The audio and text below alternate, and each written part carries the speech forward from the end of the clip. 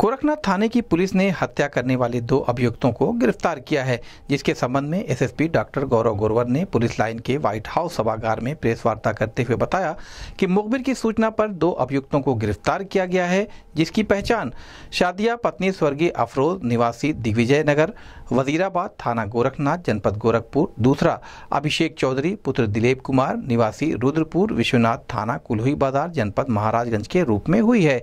जिनके पास से घटना में प्रयुक्त तलवार, एक म्यान, एक चाकू बरामद किया गया है।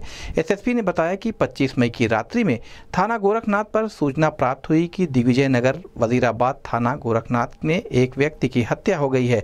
इस सूचना पर पुलिस बल मौके पर पहुँची तो अफरोज अली, पुत्र स्वर्गीय अनवर अली अपने घर के अंदर बेडरूम में फर्श पर लहूलहान पड़े हुए थे तथा गर्दन आधी कटी हुई थी।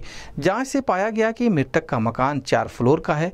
ग्राउंड फ्लोर पर मृतक अफरोज व उसकी पत्नी सादिया रहते थे तथा उस पर तीनों फ्लोर किराए पर दिए गए थे। सादिया व अफरोज में अक्सर लड़ाई झगड़ा होता रहता था, तथा यह तथ्य भी प्रकाश में आया कि सादिया की नज़दीकियाँ अभिषेक चौधरी, पुत्र दिलीप कुमार, निवासी रुद्रपुर, शिवनाथ थाना कुल्हुई जनपद महाराजगंज से भी थी। घटना वाले दिन रात्रि में अभिषेक सादिया के घर पिछले दरवाजे से आया और करीब एक घंटे बाद पुनः निकलकर चला गया। उस समय अफरोज दावत खाने गया था। रात्रि में लगभग 12 बजे अभिषेक अपने दो अन्य साथियों, इरफान व इरशाद, उर्फ़ दिलशाद के साथ आया था। तथा फ़ोन करके प्रथम तल पर रहने वाले किराएदार सुमित सिंह से गेट खुलवाकर अंदर आया। सादिया ने सुमित सिंह से पहले ही कह रखा था कि अभिषेक जब भी आएगा, दरवाज़ा खोल देना। अभिषेक पहले अपने साथियों के साथ ऊपर गया तथा एक दो बार ऊपर नीचे आकर आहट लेता रहा। उसके बाद रात्रि में लगभग दो बजे तीनों अभियुक्तगण नीचे आकर अफरोज के कमरे में गए। पूर्व योजना के अनुसार सादिया ने सारे दरवाजे खुले छोड़ रखे थे। अभिषेक था उसके दोनों साथी इरफान व इरशाद और दिलशाद ने अफरोज के बेडरूम में जाकर चाकू तलवार से अफरोज की गर्दन काटकर उसकी हत्या करके घर के पिछले रास्ते से भाग गए।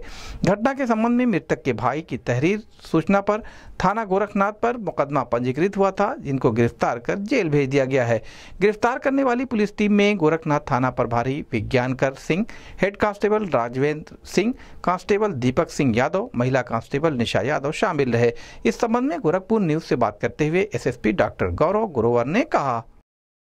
जनपद गोरखपुर के थाना गोरखनाथ क्षेत्र में 24 बटा 25 की रात को एक व्यक्ति अफरोज, जो कि 50 वर्षीय जिनकी उम्र थी और रेलवे में नौकरी करते थे उनकी हत्या के संबंध में रात में दो बजे के आसपास सूचना मिली, जिसको कि तत्काल पुलिस द्वारा घटनास्थल का निरीक्षण किया गया। घटनास्थल के निरीक्षण से बात प्रकाश में आई कि उनकी हत्या किसी धारदार हथियार से उन्हीं के घर के अंदर, उन्हीं के बेडरूम में की गई है। तत्काल शव को पोस्टमार्टम के लिए भेजा गया। परिस्थिति जन साक्ष्य के लिए फोरेंसिक की टीम द्वारा एविडेंसेस इकट्ठा किए गए। घर के बाहर और घर के अंदर कई सीसीटीवी कैमराज लगे थे, जिनकी फुटेज को सुरक्षित किया गया। मृतक के भाई द्वारा इसमें तहरीर दी गई जिसमें कि मृतक की पत्नी एक अन्य व्यक्ति को इसमें नामजद किया गया और अज्ञात के नाम भी लिखवाए गए जिस पर तत्काल मुकदमा पंजीकृत किया गया। जिस तरह से घटना हुई थी और घटना के समय पर क्योंकि उनकी पत्नी उसी घर में मौजूद थी और उसको किसी प्रकार की कोई आ, आ, कोई जनहानि नहीं हुई थी। सीसीटीवी कैमरा से जो फुटेजेस सामने आए सर्विलांस के माध्यम से और पूछताछ के माध्यम से ये बात क्लियर हुई कि इस घटना में मृतक की पत्नी का मुख्य रोल है।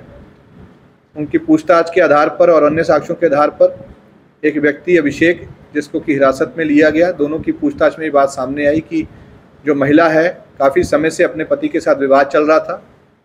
उसको मार करके उसकी संपत्ति और प्लस अपने कहीं और संबंध बनाने की काफ़ी समय से वो प्लानिंग कर रही थी। जिसमें कि उसके द्वारा अभिषेक को शामिल किया गया। अभिषेक के द्वारा दो अन्य व्यक्तियों को इस घटना में उसका साथ देने के लिए सहयोगवत उनको लाया गया। रात के समय पे इनके द्वारा पहले से एक तलवार जो खरीदी गई थी, वो रात में 12 बजे इनके द्वारा घर में एंट्री की गई, क्योंकि ये पहले से उसी घर में किराएदार था तो ऊपर जाकर के छिपा। फिर एक से दो बजे के बीच में नीचे आकर के, क्योंकि ये दरवाजे मृत, मृतक की पत्नी द्वारा पहले से ही खोल के रखे गए थे बेडरूम में आकर के उसी तलवार से इस जो मृतक है, उसके शरीर पर काफ़ी वार किए गए और फिर आगे से गेट के ना जाकर के पीछे के गेट से इनके द्वारा एग्जिट किया गया। इस घटना में का खुलासा आज हुआ है, जिसमें कि मृतक की पत्नी सादिया, उसको गिरफ़्तार किया गया है। साथ ही साथ जो मुख्य अभियुक्त इसका है, अभिषेक, उसको भी गिरफ़्तार किया गया है। इस घटना में दो अन्य लोग हैं जो भी फरार हैं, जिसके लिए पुलिस की दबिश लगातार चल रही है। इन दोनों को अरेस्ट करके जेल भेजा जा रहा है। और इस घटना का सफल अनावरण इस टीम द्वारा सर जो अभियुक्त हैं जो फरार है वो किस आधार पे उनके साथ आए थे? पैसे के लिए या किसी देखिए क्योंकि ये अभिषेक उनके साथ काफ़ी दिनों से मेलजोल उसका था उसके द्वारा ही उनको इस घटना में शामिल होने के लिए प्रोत्साहित किया गया।